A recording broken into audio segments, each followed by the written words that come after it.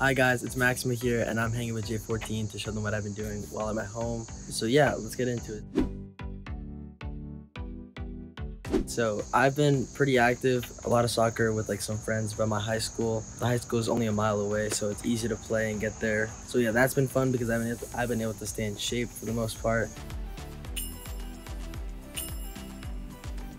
During quarantine, for sure, I had like a little workout routine going. My gym class actually required us to send footage of us working out and um, doing exercises. So that got me into a little routine of my own workout routine thing, which I never really had before, but um, it was kind of fun to do at home because I, I wasn't doing much. I found like a new love for my backyard because I mean I didn't make much use of it earlier. One because I wanted to take care of the grass and like playing soccer on it kind of messes it up. That's why my goal is over there because I don't want to mess up the grass.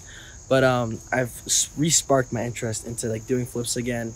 Um, I used to always love to do flips and like just like tricking and stuff. I was always into it. And um, I guess I'll show you some right now.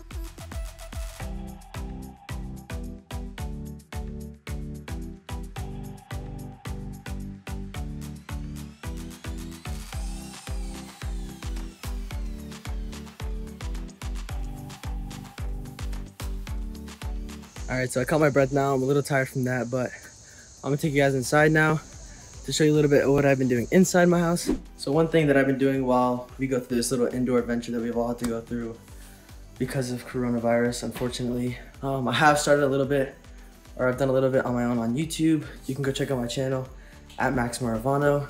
That's been pretty fun. I've done some cooking videos, a sit down Q&A video. I've also gone cliff jumping quite a few times with some friends. You can see that on my Instagram or my YouTube.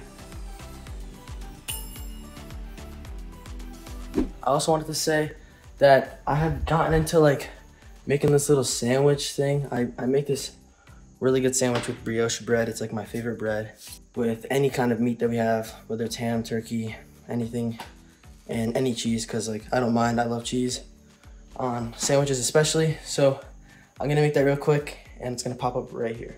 Boom. I made it. Literally call me a chef. I mean, it literally looks golden brown. It's, it's beautiful. Look at that, made by Maximo himself. Oof. So beautiful.